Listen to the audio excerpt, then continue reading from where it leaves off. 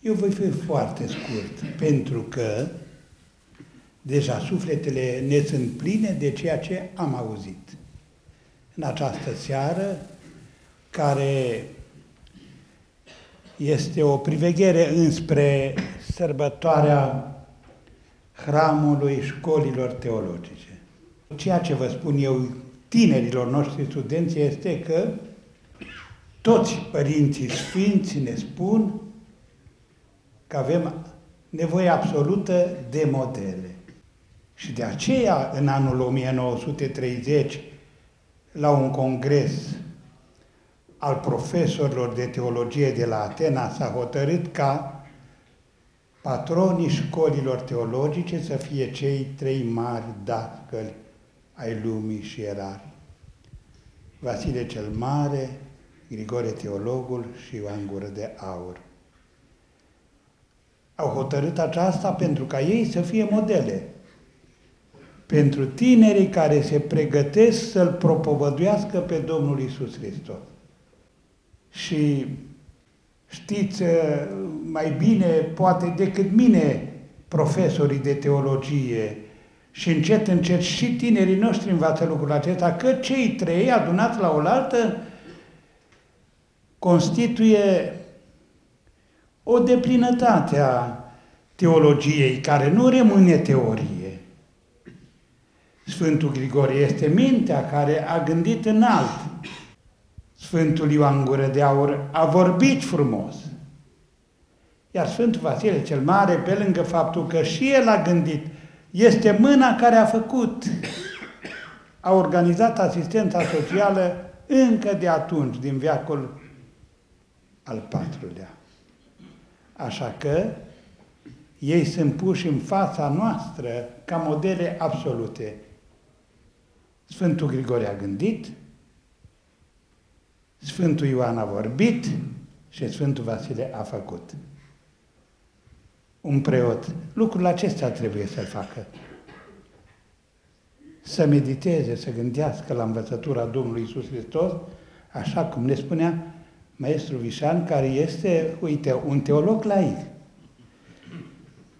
Să gândească la învățătura Domnului Hristos, să vorbească cu putere multă, propovăduind Evanghelia Domnului Hristos ca Sfântul Ioan Gură de Aur și în același timp să facă, să fie promotorul lucrării misionare sociale în lumea în care are atâta nevoie de ajutor. Și dacă ei sunt trei modele absolute, iată că modele sunt și printre noi. Domnul Dorel Vișan reprezintă cultura românească, dar pe deasupra este și un om credincios. Și maestru Furdui ne convinge că trebuie să ne iubim cultura satelor noastre, din care marea majoritate am răsărit. Și în orașe s-au născut oameni cu minți, dar cei mai mulți vin de la sat. Nu tot repetăm sintagma, dar e adevărata lui Blaga că veșnicia s-a născut la sat.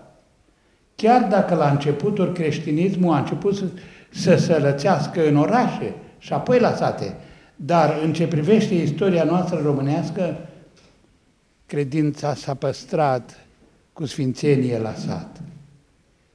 Și atunci domnia sa ne învață că trebuie să ne iubim satul, cu toate că ne-ar putea spune unii că suntem în contratimp cu istoria, pentru că, din nefericire, multe sate se prăbușesc.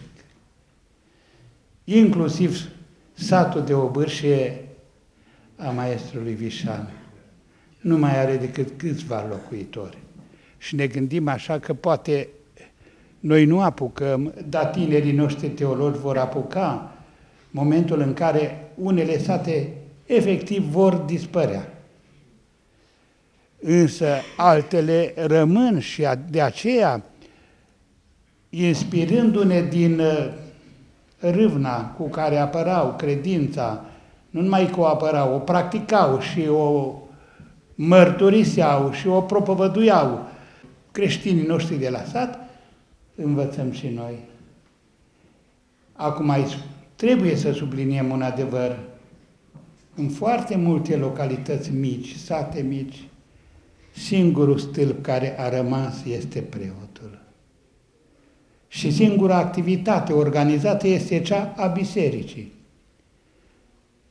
Cu toată răutatea ce pe aici, pe acolo sau în multe locuri este pornită împotriva bisericii, totuși biserica rămâne coloana vertebrală a neamului. Iar dacă e vorba de faptul că Părintele Decan a organizat această seară care premerge hramul școlilor teologice, a organizat-o axându-o pe cultura sătească, pe valorile care izvorăsc din sat. Faptul acesta ne mângâie și vedem ce valori frumoase s-au născut la țară. Doamna Mariana Morcar ne-a și demonstrat lucrul acesta. Am zis că nu zic decât câteva cuvinte. Oricum a fost o seară minunată, dăm slavă lui Dumnezeu, ea premerge hramul școlilor teologice care în mod liturgic se va celebra luni la Sfânta Liturghie. Și eu, ca și Părintele Decan, le mulțumim oaspeților noștri și maestrului Vișan, și maestrului Gelu Fordui și doamnei Mariana Morgan. Iar uh, ceea ce spuneam la început, spun și la sfârșit, cred că tinerii noștri teologi, având în față modelele celor trei mari dascăli ai lumii și și nu numai, ci și a oamenilor deosebiți de cultură pe care îi avem astăzi, au ce învăța de la ei și pot transmite mai departe. Pentru că bulversarea în care se găsește societatea românească și lumea întreagă nu se poate tămădui altfel decât predicându-L pe Domnul Isus Hristos și Evanghelia Lui, care e singura șansă. Felicitări pentru toată lumea!